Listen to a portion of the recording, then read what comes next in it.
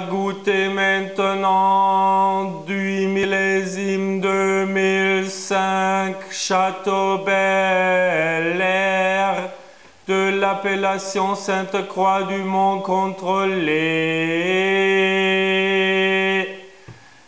du propriétaire vignoble Mérique à Sainte-Croix du Mont.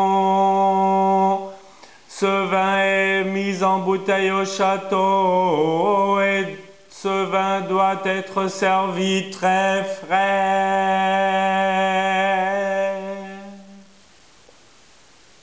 Amen.